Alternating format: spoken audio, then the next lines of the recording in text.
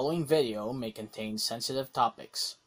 The views and opinions of the presenter to these are plainly his own. Furthermore, any and all views and opinions of the presenter do not in any way reflect the views, opinions, statements, and advocacies of his personal contacts, his family, his affiliations, and his profession. While the presenter makes a commitment that all content is original, he is obliged to cite references or acknowledge resources mentioned or used in the production of this video. This disclaimer is also written in the description below. Hi everyone, Ian here. Today is the 10th of July 2020, and I cannot say good day to all of you because today, two things happened. One, a church burned down, and two, a broadcast network was denied their franchise renewal. Normally, I wanted to slide these off as I'm currently on a YouTube retreat, but I think this cannot wait. It is too important that my prerogative of exception has to be applied. First, the, the church in question. Santo Niño de Pandacan is an old church which houses the famous image of the infant Jesus made out of dark wood. I just hope that the image can be salvaged because by the time of this writing and this recording, it is not yet found. In a more consoling note, the Blessed Sacrament in that church, the real presence of the Santo Niño, survived the fire. Thanks be to God. But I just can't help but think about this matter.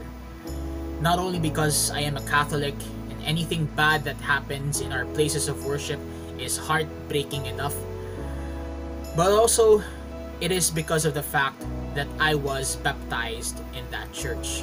Yes, the pain is very personal. It seems that I would no longer behold the beauty of its interior as I have not yet set foot there A. to get an updated copy of my baptismal certificate and B.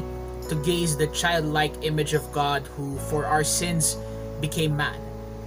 I just hope that as repairs commence sooner than later, the church would not be renovated. And one more thing before I move on. Those who are jubilant of the burning of the church are making fools out of themselves. And now we delve into another matter. ABS-CBN was denied of its broadcasting franchise at the House of Representatives.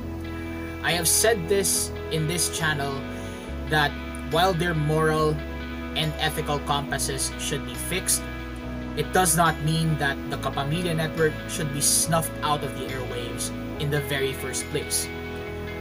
I highly bet that something more than the curtailing of press freedom or more sinister than outright criticism of the network's ex- existence is at play here.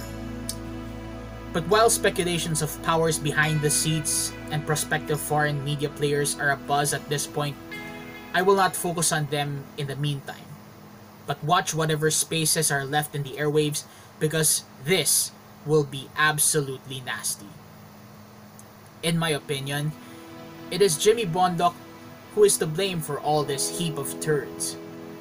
If he have not said his piece about ABS-CBN, it wouldn't get as worse as it is right now. So much for Schadenfreude.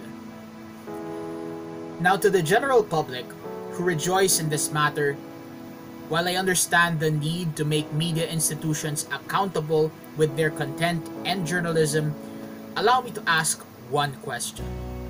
What if I tell you that there are speculations that certain exclusive local groups and foreign media entities would like to take over ABS-CBN's free-to-air television and radio frequencies? Do you think they are a better alternative to ABS-CBN? To answer myself so that the ball starts rolling, only time will tell. I would like to end this video on the two things I've read in the wake of this fatal decision, for the lack of a better term. The first came from an avid supporter of the Kapamilya Network's greatest broadcasting rival, GMA. He said, This government will be remembered as a bully empowered by popular and troll enhanced support and operating on flimsy legal grounds. Another, and I'll leave you with this, is one from my personal contacts who happened to be a journalist. Shared the following in Tagalog, which I will translate for the sake of those who can't understand it. The next time you say, I don't watch the news because its content is pure negativity so they can gain high ratings and increased profits, think twice of what you will say because you will eventually eat them. In what's happening now, you will live in a world where there will be fewer news filters, thus, the increase on fake news.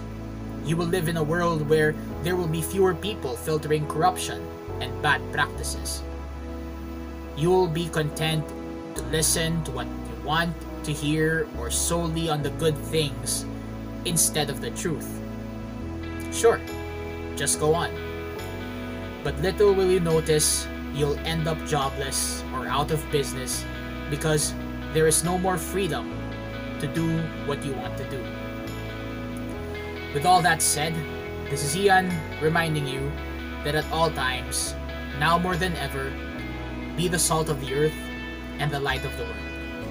Until then, look alive, stay alive, and see you next time. Bye, guys.